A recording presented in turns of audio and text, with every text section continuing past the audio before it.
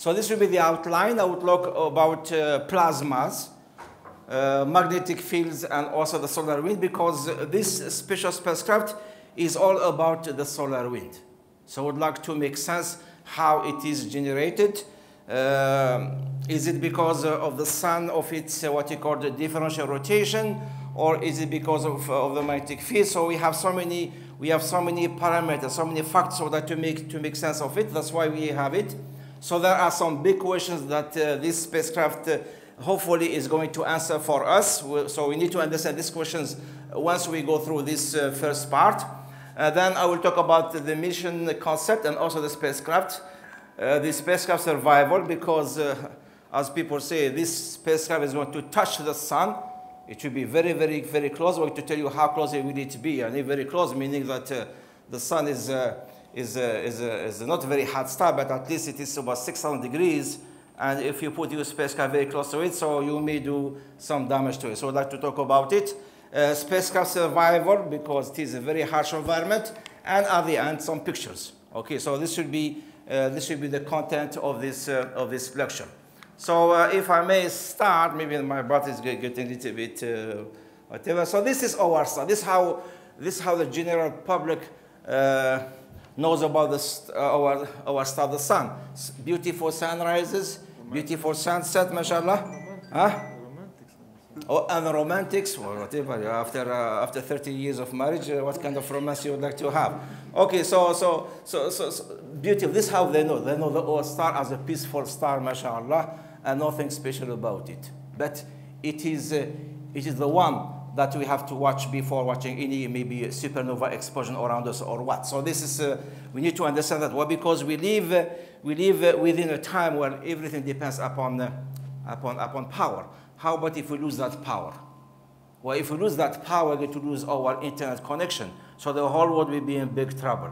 Uh, we're going to show you that uh, some time ago, something very bad happened. And uh, alhamdulillah, we're still alive. But uh, if this, if, if what happened about one century ago will happen again here today, so the cost will be, will be trillions, trillions of, uh, uh, of dollars. So that's why we need to, we need to be careful about, about, about our star. So let me show you a very nice uh, video just to summarize to you, uh, just to give you a, a, contrast picture. You saw that beautiful sunrise. So let us show you the real sun. What does it do? 24 hours a day, every week, every month, since more than about 4.6 billion years. This is what, it, this what it was doing. And it still has enough power to do it for the, for the next five or maybe, maybe 6 billion years. So let, hopefully it will work.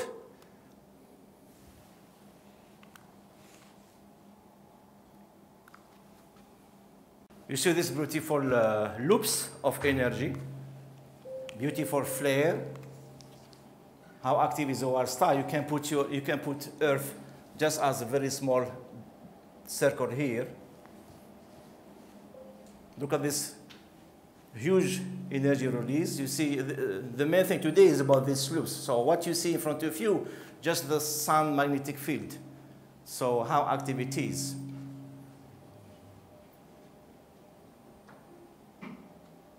Uh, most of this energy will fall back, but uh, maybe 10, maybe 50% of it will be uh, sent into space, and we receive it sometimes. It will be part of what you call this CMEs, this coronal mass ejection. Look at this beautiful resolution that you see here. Uh, this is taken by the SDO, Solar Dynamic Observatory. Or maybe orbiter, I don't know, whatever. Look at these beautiful loops. So this is how active is our star. Another beautiful solar prominences. So what you see here, you see plasma and also magnetic field. So whenever we talk about the, our star, the sun, when you talk about plasma, we talk about magnetic field. If we talk about magnetic field, we talk about plasma. This is just a couple of sunspots. We have sunspots only because of one thing. As I said, the sun has this beautiful different rotation. What does it mean? It's not at the level of the equator. The sun uh, makes 26 days to make one full rotation. If you go up to the north, you go up south. it will be slower. It may, if you reach the poles, it may, it, the gas there may make one full rotation about only uh, 30 to 35 days.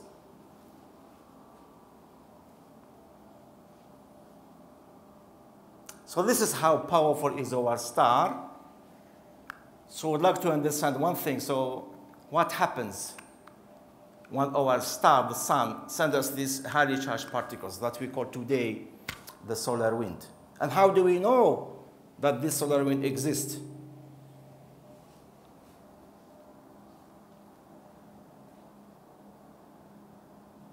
This, uh, I believe, uh, Mercury transit or Mercury, uh, as it happened, uh, this not uh, two years ago. This must be about uh, in 2012.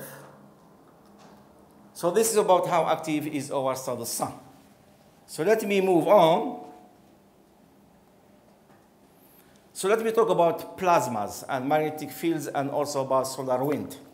So what is a plasma? So if you have a gas that is so hot, uh, the, uh, there will be a split between what you call the, the charged particles, between the, uh, the electrons and also the ions. So what you will have, you have uh, the electrons by themselves and the ions by themselves. So you have a pool, uh, you have a gas uh, having two components. You have the positive ones and negative ones. a common plasma, you have your sun. It is, as we say, uh, sphere of uh, hot plasma. Uh, also, whenever we have lightning, so it is also part of a plasma. For those people who do construction, so this TIG welding that you see here, it is also plasma. even neon signs, neosines, so, and also fluorescent light.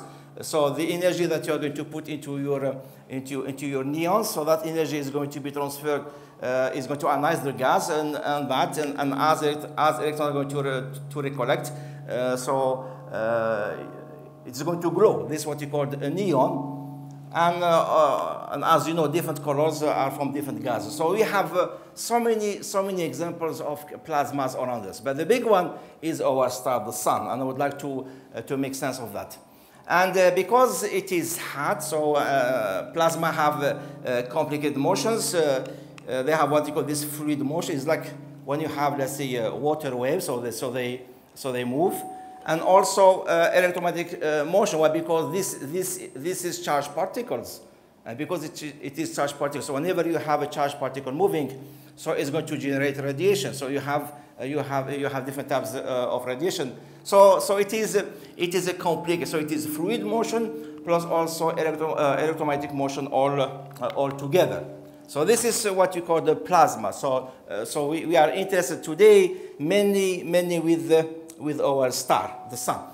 So uh, let us talk today about, uh, now about magnetic field. So you are all aware about if I take a, a, a bar magnet and if I throw on it some iron filings, so this is what you will get. You will, you will, you will get to know, uh, to see exactly, so the, uh, these iron filings are going to get magnetized, and as they're going to get magnetized, so they have to follow the local, uh, the local magnetic field. So you are going to, uh, to see in front of you uh, these beautiful shapes. The one that you are seeing uh, when you saw the video uh, for this for this beautiful solar prominence, they have these beautiful loops. Well, these beautiful loops are just magnetic fields. So this is what we define as the magnetic field lines.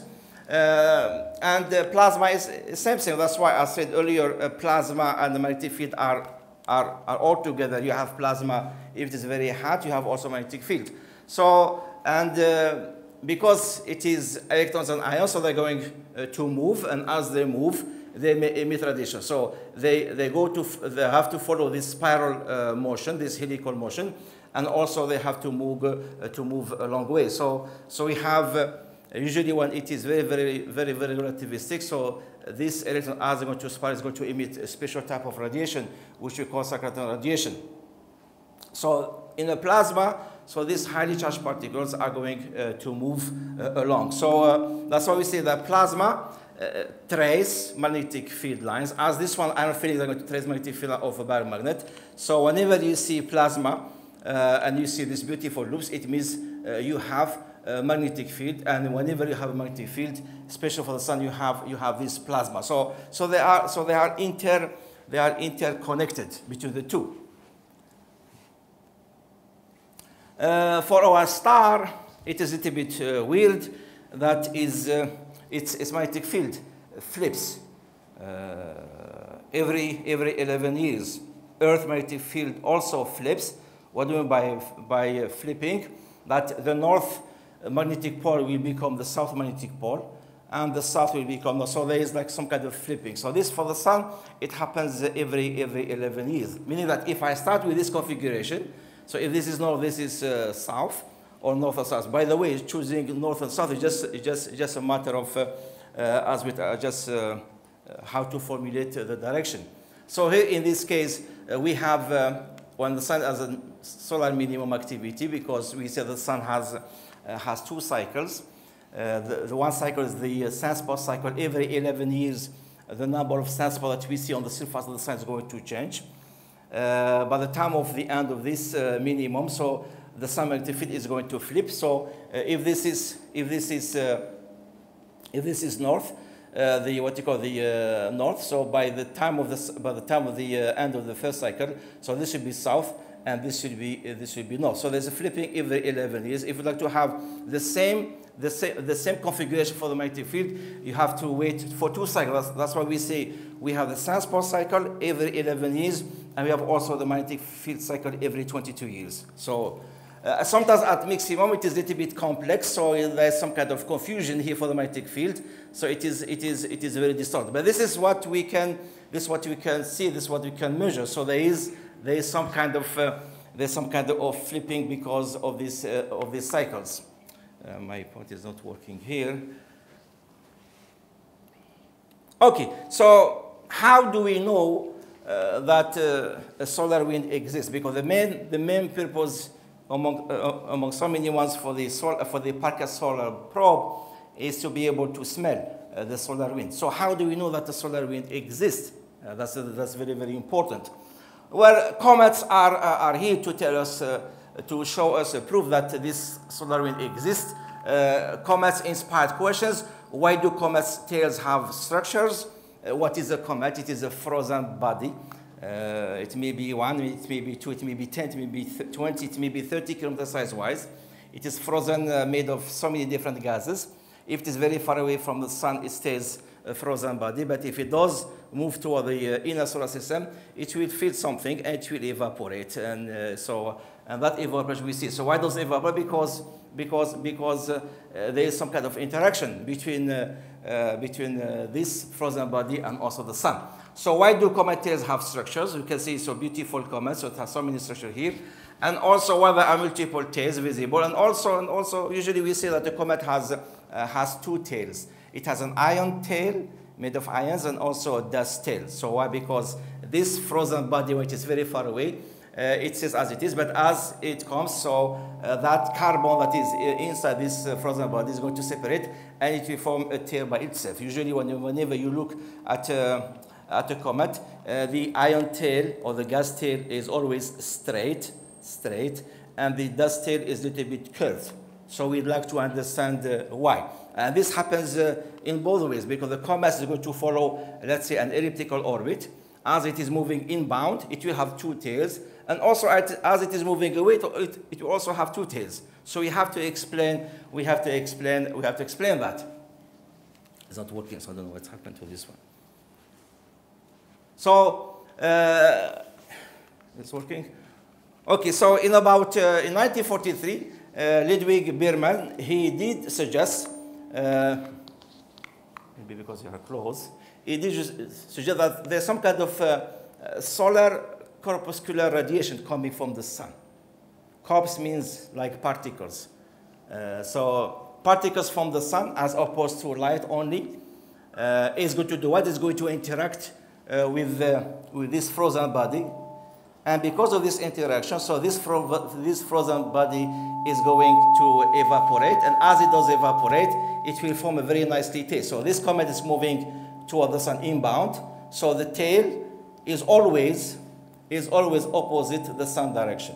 It means that there's something pushing uh, this, this, this gas tail uh, away from the sun. And that something is what gives us some kind of uh, proof that it, it, must be, it must be the, uh, the solar wind.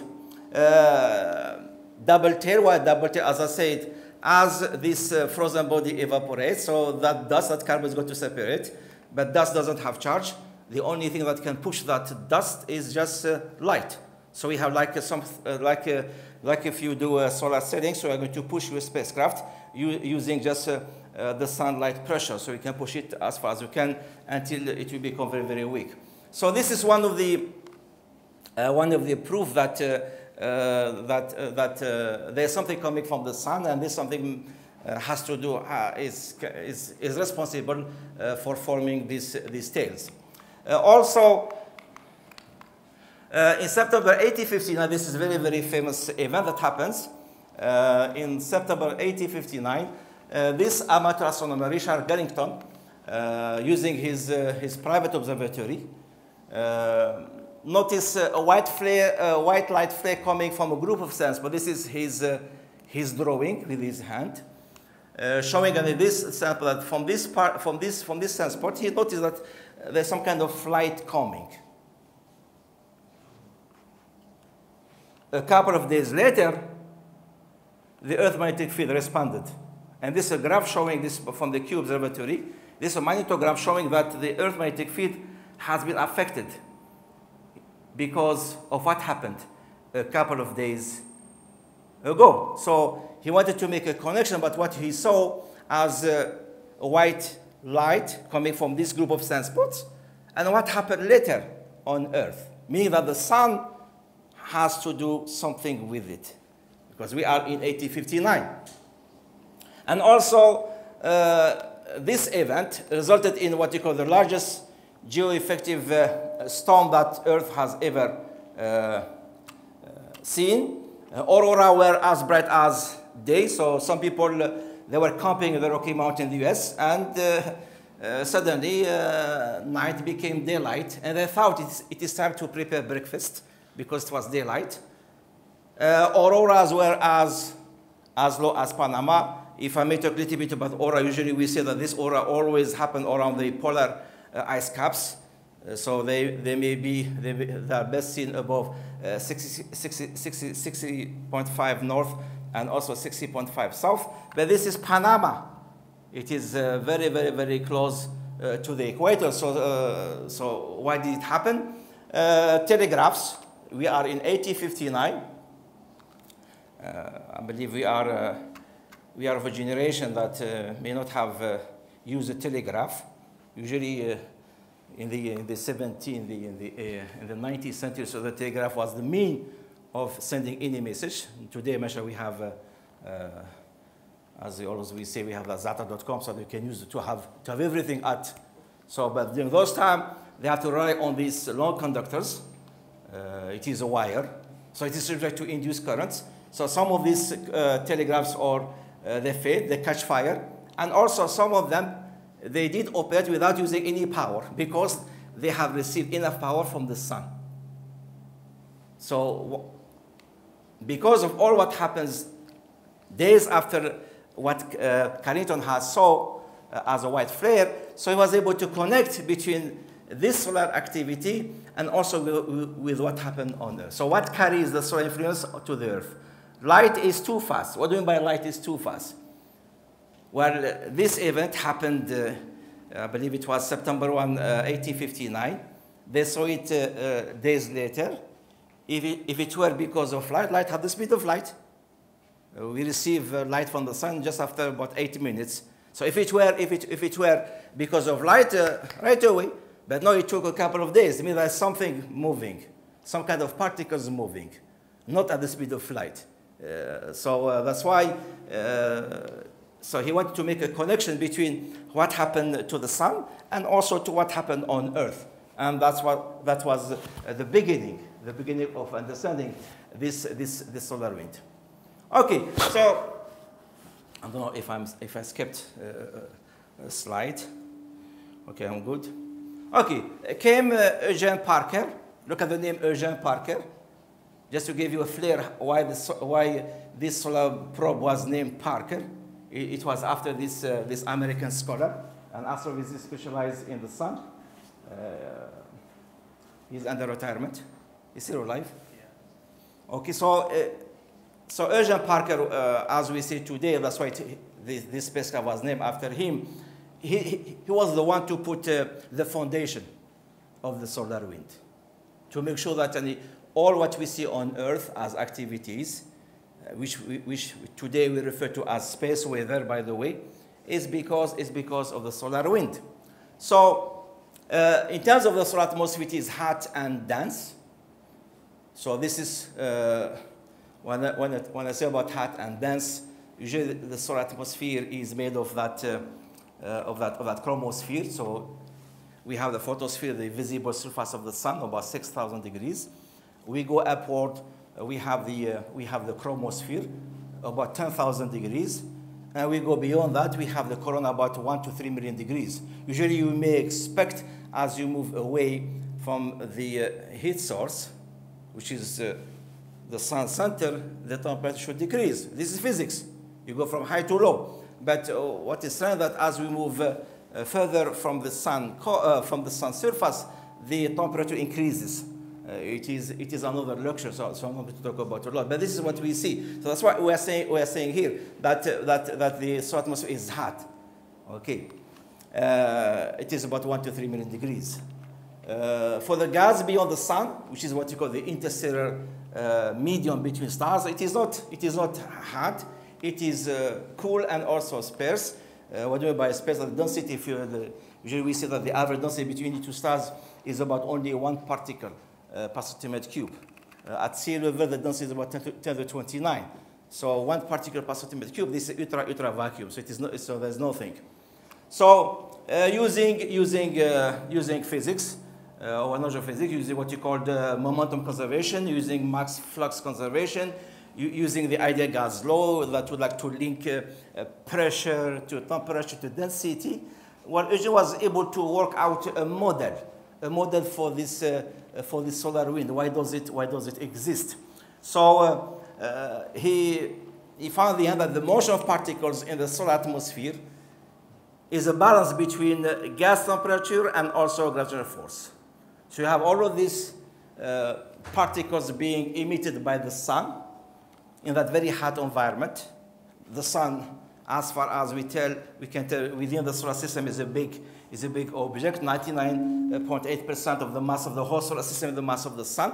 So it has enough gravity uh, to hold uh, these uh, particles. But it is also very, very hot. So you have like a balance between how hot it is and also how strong is the gravity.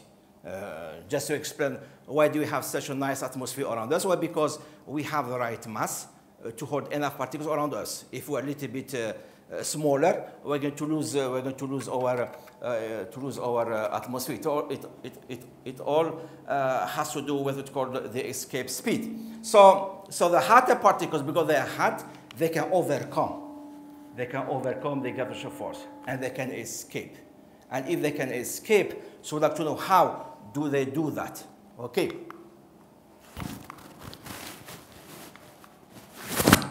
If, if, if, if, if you didn't like uh, what I said here, of this beautiful balance, maybe you can understand it here as equations.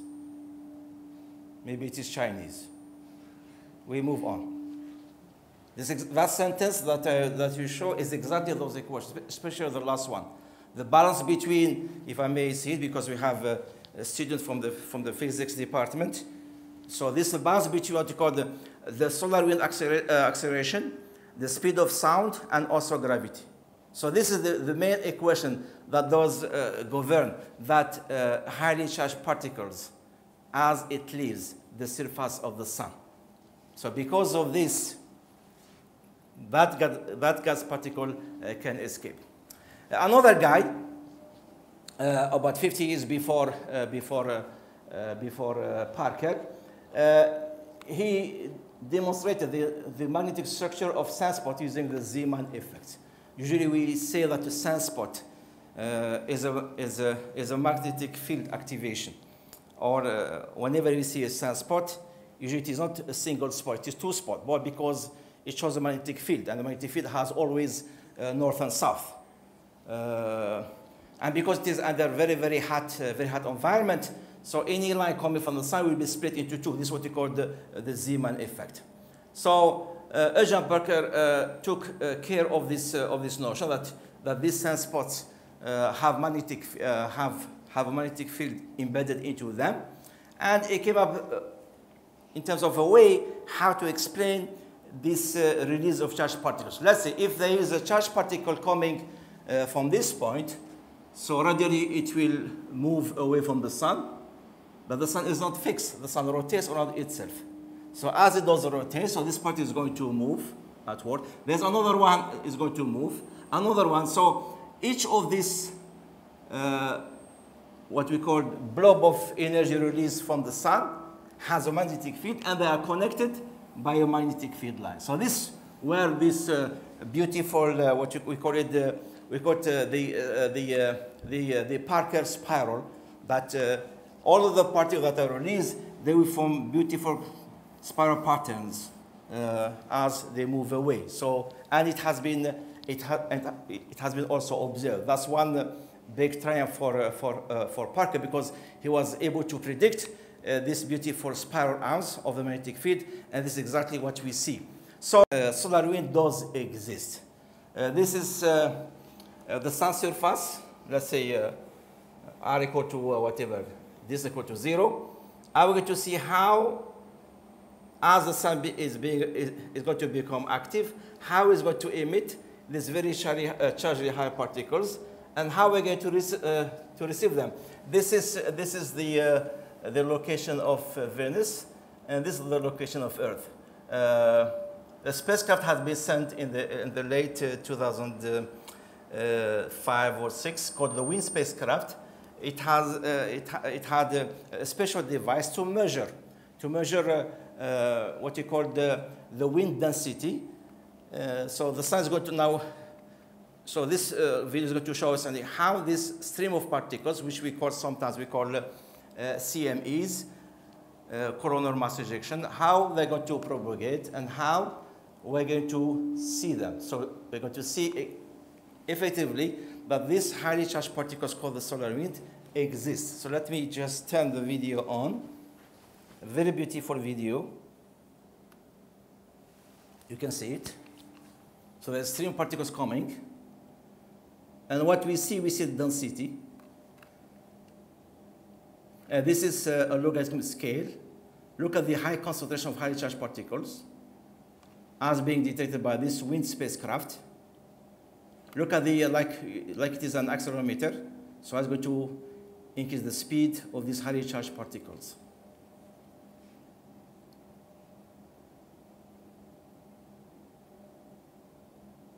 And look also at the scale. Look how big it is.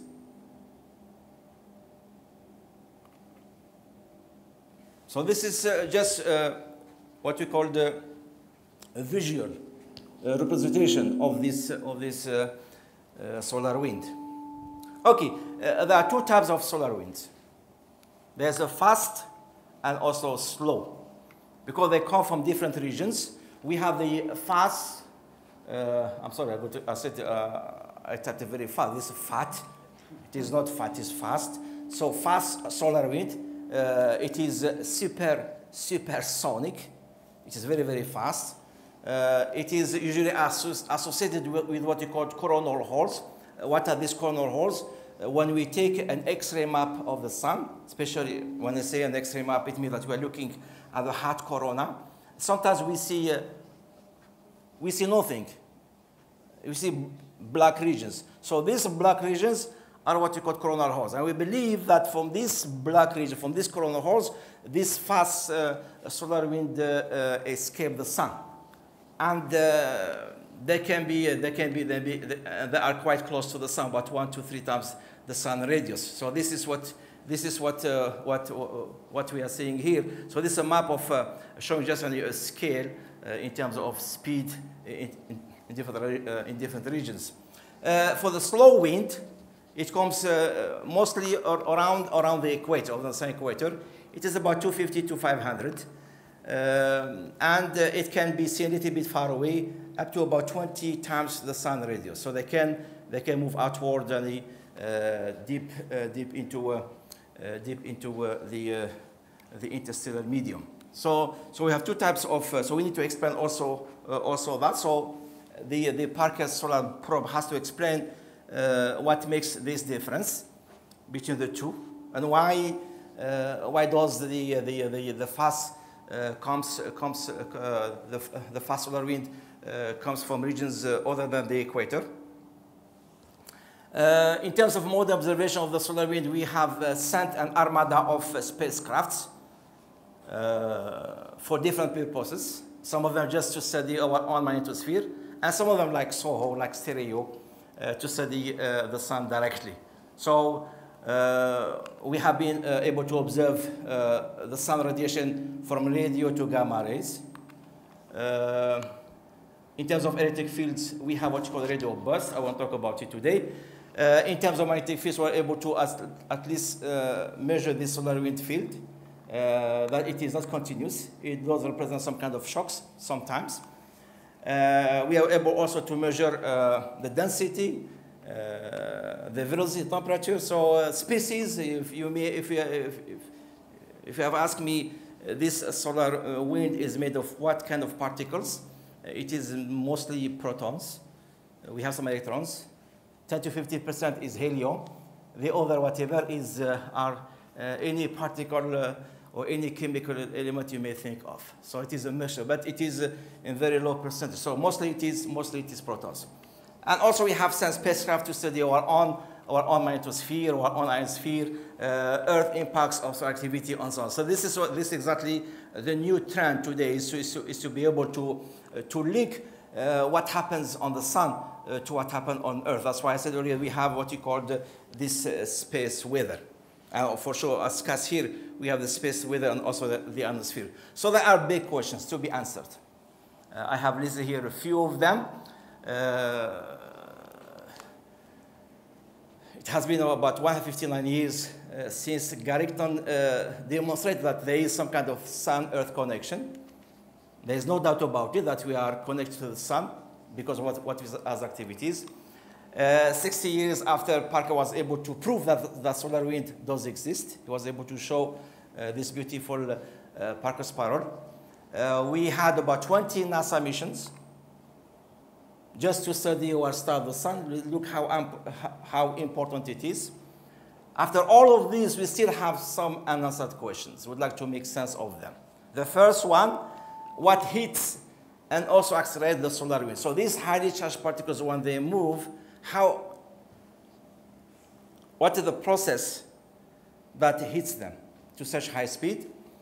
And also, uh, what, can, uh, what of structure are the sources of the solar wind? Because uh, we see so many activities, so many storms, and also how are solar energetic particles accelerated. So we need to make, we need to answer all of these questions. Uh, as I said, we have sent all of these uh, spacecraft. You may say, uh, isn't it enough? Well, uh, it is enough if you would like to study the general questions, but if you would like to uh, study the source, the source of all what we see on, on Earth in terms of activities, you have to be very, very, very close to the sun. And this is the role of the Parker Solar Probe. It, we have to get as close as possible to see exactly before, before, before the information is lost. What? Because I said, remember, that, uh, that these uh, solar wind uh, particles are supersonic. What does it mean, supersonic? Meaning, once they leave the sun, we lose information about, about the sun. That's why we need to be very close to the sun to be able to get that information before it is, it is lost into space. That's why we have to, we have to be, we have to be. So, so uh, the, the Parker Solar Probe was designed to answer, hopefully, hopefully these questions, if everything, if everything goes well, because it is going to, as we say, is going to touch the sun. So let me talk now about uh, the spacecraft design. That's why we named the, the listener. The yes, the listener or is going to touch to sense. So, so, so yes. Uh, well, first of all, it has uh, this very important uh, heat shield. It is good and bad at the same time for the spacecraft, as I'm going to explain in a few minutes. It is the one that has to protect the, the uh, sun instruments or of that heat because it will be at a distance that it will feel about 1500, 1500 degrees. So anything can melt down. So we have to have a special uh, heat sheet for that. Uh, it has solar panels. You may ask yourself if it's going to be very close to the sun. These solar panels, if they're going to be very close, what will happen to them? So they have to uh, find a way to protect them. Uh, you have to cool the instrument from the, uh, from, the, uh, from the heat shield. There will be a lot of heat uh, uh,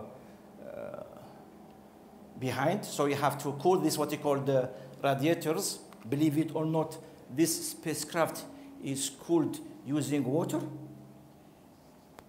It has a water pump, like the one that you have in your car for water to circulate. Water, yes? It works like a refrigerator, exactly. And you have the antenna to make, uh, to exchange data. You have uh, so many sensors. So you have the field sensor, the field sensors.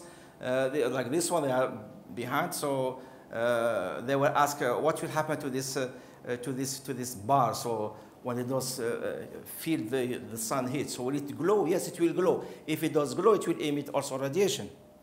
So, so this is the overall design of the, uh, of the, uh, of the spacecraft.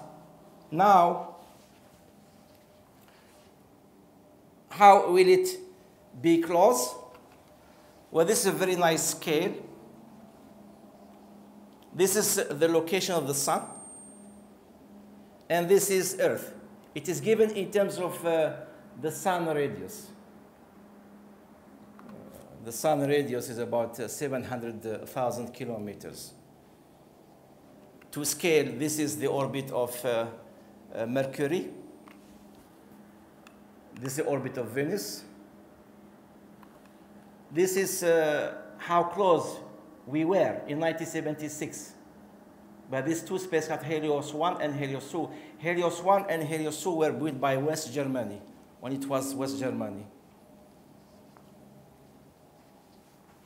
Parker will be here. Look how close it will be, at about 9.8 solar radius. 9.8, sorry, this is about uh, only 6 million kilometers. We are 150 million kilometers from, uh, from, uh, from the sun. The SOHO spacecraft just above our heads. So this one will be 6 million kilometers. Very, very close. That's why it's going to touch, to smell, to do whatever. So it has, it has, it, it has to survive. Uh, that's why, so uh, people are a little, are little bit skeptical. Uh, is it going to make it or not? Why? Because uh, there are so many uh, challenges on its way. First of all, you have to make sure that it will arrive to the sun. Usually, when you are asked by kids, how do you send a rocket to the moon? Directly. we don't send the rocket directly to, to anything because we don't have enough, uh, uh, that rocket doesn't have enough power uh, to take your spacecraft to that. So we get to use gravity assist. So we get to help. Uh, the original plan for, for, for the Parker Solar Probe was to send it to, Jupiter and to use the angular momentum of Jupiter to, to shoot it toward the sun. But it was thought too risky so uh, the spacecraft, uh, it has been launched uh, this past August. So it's going to do what? It's going to use Venus as an assist. So there will be about 24 orbits. For every orbit, it will get closer and closer. The first orbit, it will be at about 35, uh, 35 uh, sun radius from the sun. And that's a challenge, right? Because as, as you send your spacecraft toward the sun in any of these orbits, you have to make sure that this instrument will not burn down. That's why as the spacecraft is moving toward the sun, well, the, the heat shield is always pointed toward the sun. So if it comes like this, it has to turn, to turn, to turn. So all the time you have to guide it for it not to expose the instruments. So at all time in its orbit, the heat shield is always facing, uh, facing the sun. By the way, I forgot something about, uh, I showed something very important to this uh, in the previous slide. I showed uh, th uh, this one. I showed this uh, white light imager. So this always pointing 90 degrees away from the sun. It can never see the sun directly. The antenna, it can see. The sensors can see. But this is always 90 degrees. If you point to the sun, you're going to burn it. So let me return to my slide. So uh, the launch date was in between this one, this, this, this, the, what you call the open window. It was launched, I believe, October, uh, August, August 12. Uh, the trajectory 24 orbits, seven Venus gravity assist. So every time it will go around Venus, it will bring it closer and closer and closer. Uh, this is just some information about uh, the first perihelion. So this is how close it will be in the, after the first orbit. Then it will become closer until the final solar orbit. So it will be about uh, uh 9.8, aphelions 0.73 AU, uh, how, uh, how inclined it is, and also the orbital period. So it is, it, it is meant to survive six years and 11 months into space. So uh, if, if, nothing, uh, if nothing wrong happened, now how about the survival? That's very important. So uh, the heat shield and the antennas are going to, they have to sustain this temperature. It must point right. If there is an error of two degrees of this heat shield not pointing toward the sun, so the instrument will burn out. So more than two degrees, you have lost your spacecraft. Uh, we have to, uh, we have to, uh, uh to, to keep the, uh, uh, the, the spacecraft safe in terms of heat, so we, we need to, to use this heat shield. But when the heat shield, when the spacecraft is very far away from the sun, we don't want this heat shield to, to, to, to shield anything because it would be too cold for the spacecraft. Also, the antenna uh, and the particle sensors are always in full sunlight because these are the ones that make the measurements. We need to, uh, them to be exposed. Uh, in terms of radiation, so we're going to be very close to the sun, so there will be a high, high, high amount of energy uh, reaching the, the instruments. Uh, and this can be very dangerous for the, for the spacecraft electronics.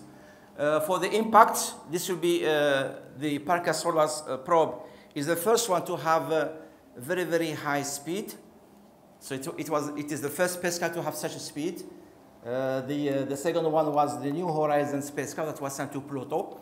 It had a speed of about 60 kilometers per second, so this three times. So this is the fastest spacecraft that has ever been built. Uh, also, we have to worry about dust impact that exists around the sun uh, at this high speed, even if it is a micro whatever, it may ruin your, uh, your heat shield. It may also ruin your cooling system. It is made, as I said, it has a radiator filled of water. If any of these uh, uh, dust particles uh, hit the radiator, so you have a leak of water, and you cannot cool down your system.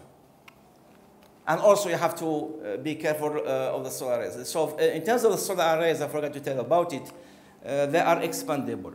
When the spacecraft is very close to the sun, they close them. When it is far away from the sun, they open them. So they will try to get as much as energy when the spacecraft is a little bit away from the sun. Otherwise, uh, the solar panels are going to burn. So they have to do this, uh, this game, so they have to open them, they have to close them. Uh, this is what I'm saying here. Uh, the lifetime is about six plus years. So if all of this survival kit is, uh, is positive. Nothing happened here and there and there and there. So your spacecraft is going to survive at least, at least six years. In terms of pictures, this is uh, the uh, probe when it was built. This is how big is the heat shield. Uh, it was built at different locations. This is when they were putting uh, the, uh, the heat shield. I believe it is about uh, three meters. Three meters tall. Okay, so let me summarize. Uh, the Parker Solar Probe is unique in its mission because it will be the only one that will be so close to our star. Hopefully it will answer all these uh, big questions. It was carefully engineered to sustain all the heat and also to meet the science goals. It is on its way uh, since more than about uh, a month and a half. And I believe uh, by, uh, uh, by the end of November, so we're going to re receive the first batch of data. So it will be very close at about 36 uh, sun radii. And hopefully it will survive until 2025. This is uh, showing the rocket uh, use. It was Delta IV rocket at Cape Canaveral. And this is uh, Eugene Parker. So he's still alive, and uh, for him it was uh, like a, big recognition because he was the one who, uh, who, uh, who gave the, what you call the, the theory behind the, uh, the solar wind.